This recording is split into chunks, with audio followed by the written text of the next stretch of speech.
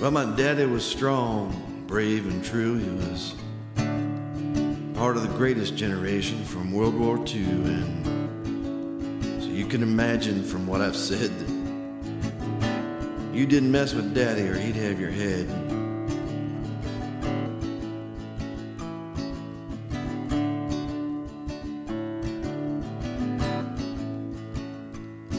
Well, I was just a little fellow, but I remember it well. Night a peeping Tom gave me the story to tell. Well, I had two sisters and they were coming of age, so the boys hanging around, man, that put Daddy in a rage. It was a summer night and the sun had gone down, and I was in my bed almost asleep when I heard a sound. My sister was telling my daddy in a frantic yelp that there was a man looking in her window and she needed his help. Boy, did she find the right man for the job. Well, he said, You go back and you keep that boy busy, and I'll take care of this poor slob.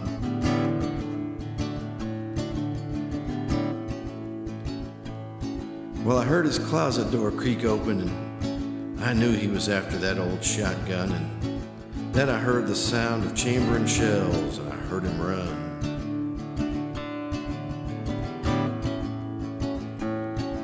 Well, I might have been young, but I had to see, as they say, you know, the fruit doesn't fall all that far from the tree. So, out of my bed and down the hall, I wasn't about to miss this one sided brawl.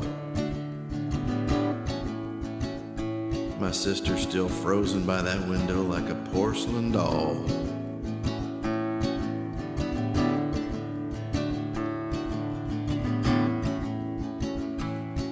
Then I heard Daddy pump in a shell. And he raised that gun on the man and he started to yell. Freeze, he roared out like a thunderous lion. Boy, that man on the ladder, he had to be dying. He jumped and ran, and Daddy fired a shot. And he fell through the bushes, and I thought he was dead on the spot. But he jumped up and ran with Daddy right on his heels.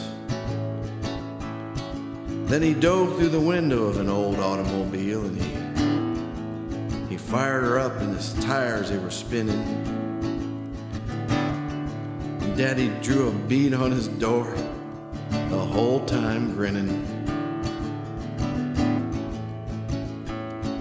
Just then another car came driving by and Daddy lowered his gun. I'm still wondering what those people thought we did for fun.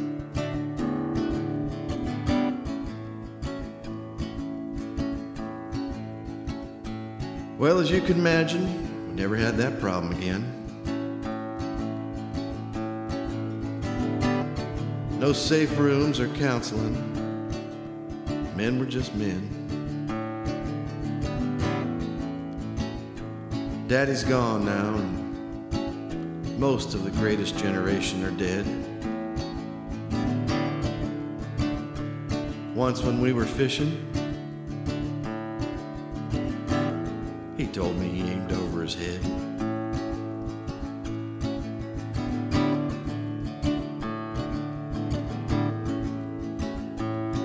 Now that old shotgun, it's still here with me. It's in my closet now, and once in a while I pull it out to see. I dust it off and I rub it with oil. And I look at his initials carved in the stock. And I remember the sounds and the hard recoil.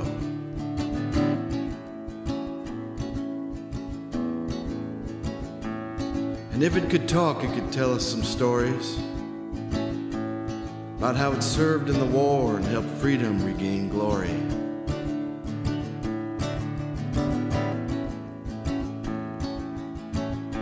Went after peeping toms and rabbits and ducks. And I remember a man in a time and a nation with guts.